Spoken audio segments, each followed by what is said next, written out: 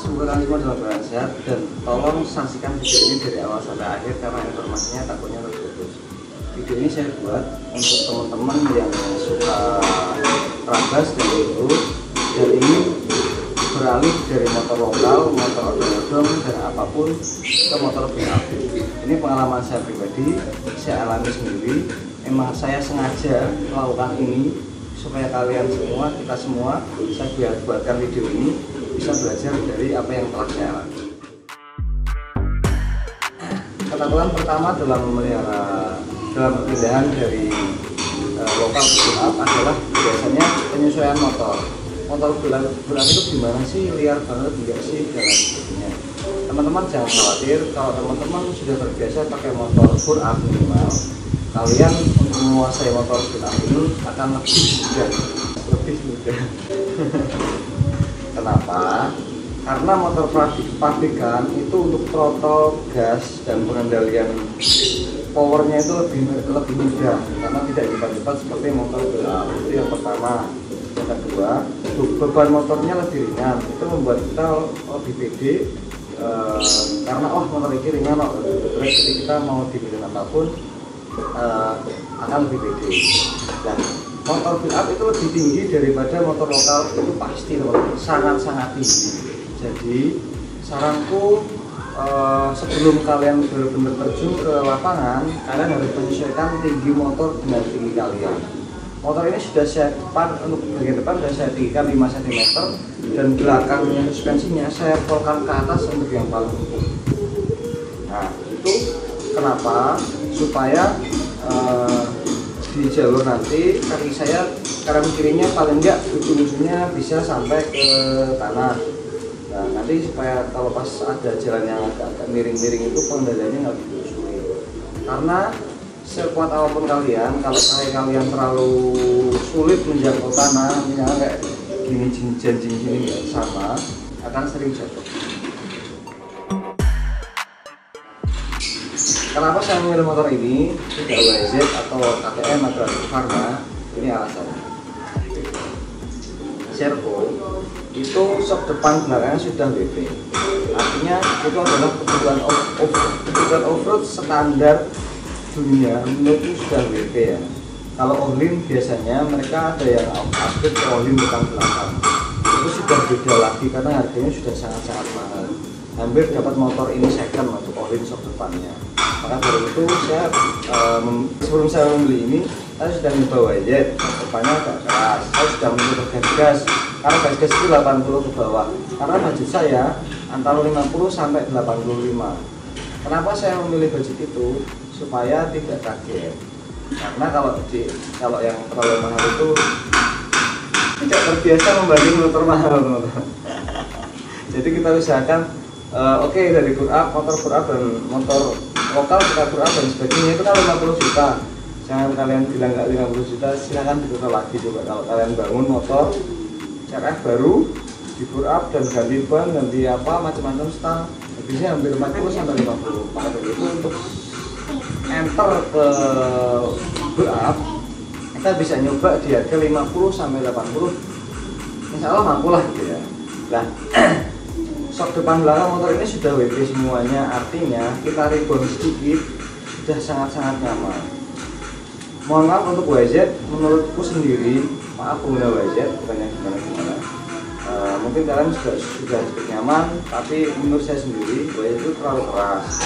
Terlalu keras menurut saya. Kemudian bahkan gas-gas pun terlalu keras dan galak dulu yang gas-gas yang apa sih GDP 300 ya? Kalau yeah. saya mencoba juga itu terlalu galak. Kalau suspensi belakangnya sudah cukup gas YZ suspensi belakangnya juara. Motornya ringan banget. Kalian bisa memilih salah satu dari itu. Sebenarnya saya ambil beli hampir beli YZ terus terang. Karena 80 juta saya yakin 2018 motor baru PR paling sedikit paling bisa pulang misalkan 12 tahun lama tapi dilelah saya yang ini harganya 56 juta tetapi ya, tetapi ada beberapa PR. Kenapa saya milih motor ini? Karena lebih murah dari YZ waktu yang saya lihat gas-gas, uh, kemudian apalagi Husky Pharma, apalagi KTM. KTM tahun 2016 di atas 80, eh, Husqvarna juga sama dengan PR yang hampir sama karena tahun-tahun segitu PR nya hampir sama teman-teman.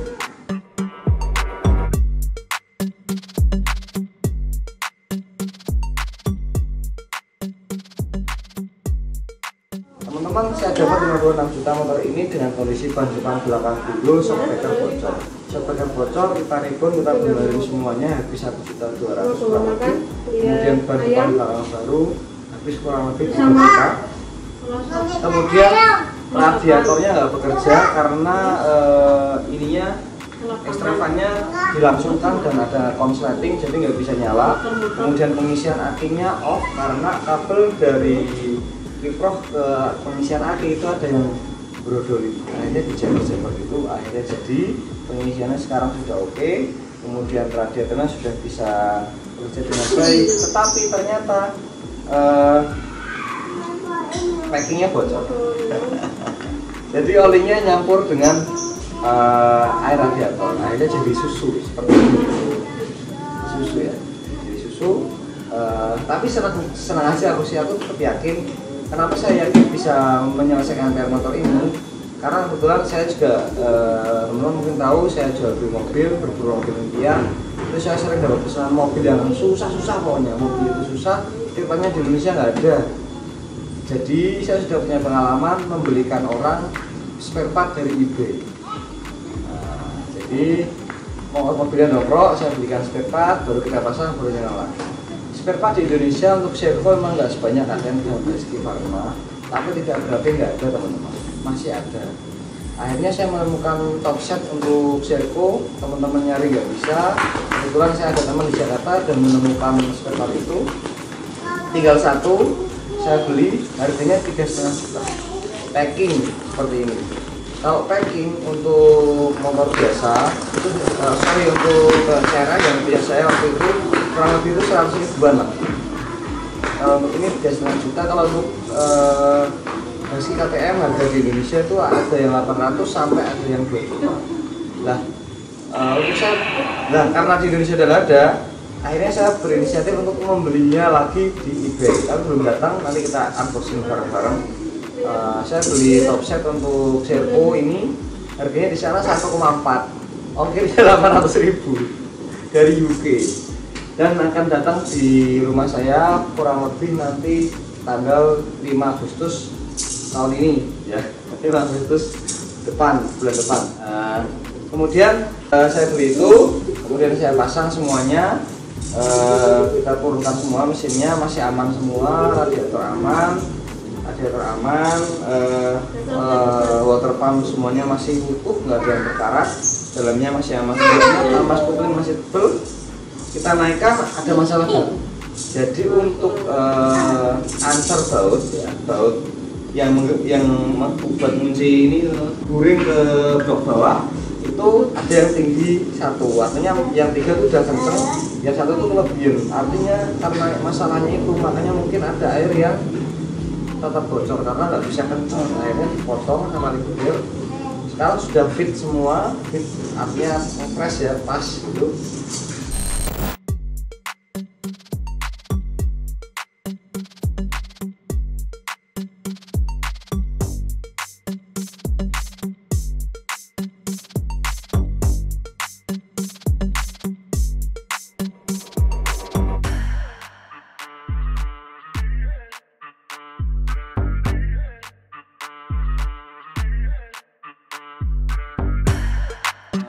untuk packing top setnya sudah terpasang juga seperti ini sudah aman.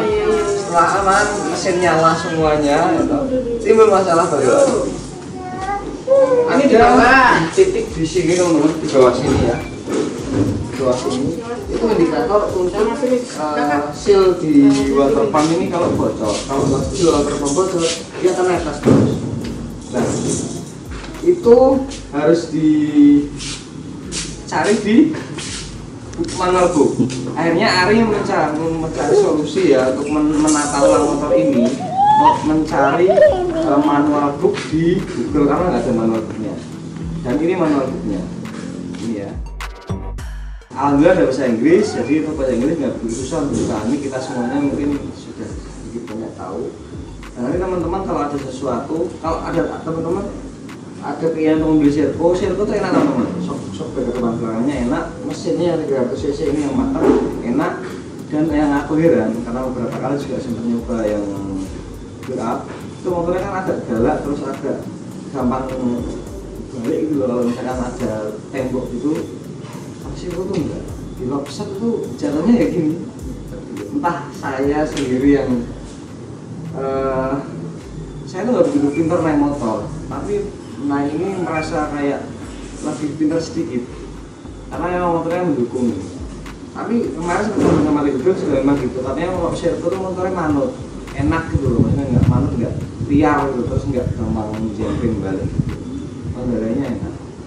E, Mario Roman ini orangnya. Ini videonya. Dia juga kayak Sherpa dia adalah atlet dulu dunia juga seperti yang teman-teman tahu. Itu teman-teman tapi sudah beres kita belikan seal seribu rupiah lah itu kali ribu rupiah lah kita ambil dalamnya e, untuk pernya kita masukkan kita pasang kita jadi teman-teman artinya motor ini sekarang sudah benar-benar 100% siap. Radiatornya sudah aman olinya aman nggak nyampur dengan e, air radiator. Kemudian pending pendinginannya aman pengeremannya aman. Kemarin koplingnya yang nyeplos itu ternyata oli oli kopling ya minyak minyak koplingnya itu harusnya pakai dot 4 ini ada tulisan di sini dot 4 standarnya. Jadi dia lebih kental. Dia biar kalau panas nggak mudah encer. Tetap tekanannya tetap dapat. Nah kemarin diganti pakai nggak tahu apa kata itu lebih ringan. Nah kalau lebih ringan lebih encer. Kalau lebih encer itu e, kalau kena panas dia bisa gampang berubah dulunya akhirnya kita sudah ganti pakai dot 4 Alhamdulillah sih kita coba kemarin impresi saya mitra pas pertama kali dengan motor ini sangat-sangat memuaskan ya. Biasanya orang kalau mau geser ke sesuatu hal itu ada ketakutan. Dari motor lokal ke bila itu wah nanti spekanya susah. Nanti aku nggak bisa naik. Nanti jualnya susah. Nanti apa? Tuh itu hanya ada di pikiran kalian teman-teman jangan takut pokoknya kalau kalian suka misalkan mau WZ juga oke. WZ sekitarnya sangat banyak. Jadi gak usah takut. Kalau uh, gas-gas gas spare partnya banyak meski apalagi KTM apalagi untuk yang agak sulit memang beta dan servo tetapi bukan berarti tidak ada. Mari kita rapikan karena motor ini enak dan harganya terjangkau teman kenapa tidak itu? Loh misalkan gini. Gas-gas Husky depan belakang WP mesinnya kurang lebih juga sama kemudian pengeremannya dan hidrolisnya Brembo ini juga sama. Ini pengeremannya semuanya pakai Brembo kemudian triple sih masih biasa. Ya sama kayak eh, meski yang biasa itu sama yang sorry KTM Sisnya juga masih triple biasa bukan yang apa namanya kalau itu kan yang kayak sekarang yang sudah yang servo yang baru 2022 itu udah pakai Nikon yang triple pen yang apa itu yang ada settingan sudutnya apa itu bang. Yang agak mahal itu. Pakai Nikon terus kalau yang sudah itu malah oh, gas-gas. Itu sudah pakai triple pen yang agak mahal itu apa namanya lupa. Karena lebih tahu. Nah ini shock depannya juga speknya sama dengan eh, ski gas ski ATM kemudian kopling dan sebagainya sudah juga tapi harganya lebih murah kenapa tidak kalian coba? Kalau ada barang yang agak seger ya bukan bekas taruh maksudnya cari masih lurus semuanya masih aman nggak ada yang masalah terlalu berarti. Kalau PR ringan kayak tadi itu menurutku nggak begitu urgent karena pada dasarnya harga spare partnya Serco, KTM dan Meski itu hampir sama. Kampas kupling ya hampir sama dua an ya satu juta juga ada sih satu sampai dua anak gitu. Cuma memang kalau yang no worries gitu ya enggak, spek yang sama uh, shock WP kemudian uh, arang kopling pada Brembo spek yang sama ya memang asli dengan KTM itu no worries.